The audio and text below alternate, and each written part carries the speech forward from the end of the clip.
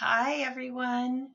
I would like to show something to you that I made. It took me a while, but I hope everybody enjoys it.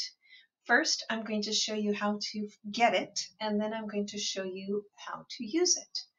So in Remind, you are getting a message that has the link.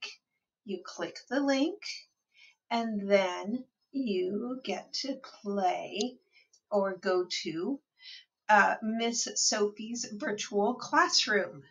Um, it's like we're sort of at school, except it's happening virtually.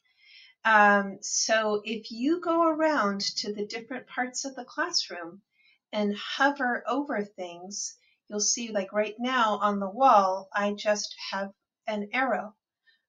But if it changes to a pointer finger, you click on that and it will take you to different links. It's going to be pretty cool. Like this one is the video that explains all about the project that is due this Friday.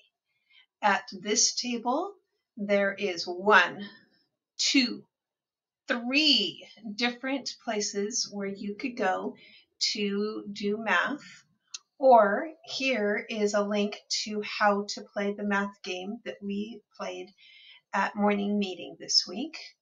Here is a video about how to tell time. Here on this wall, I mean on this bookshelf, we have some of my read alouds, my recent read alouds for this week.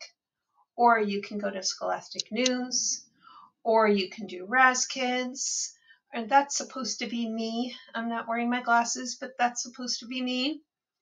And if you want to go find old stories that I have read in the past, you click on that. Just have fun hovering around, clicking on things. Um, the idea is that it is fun, uh, that you get to do some distance learning, um, but in a totally different way um, enjoy.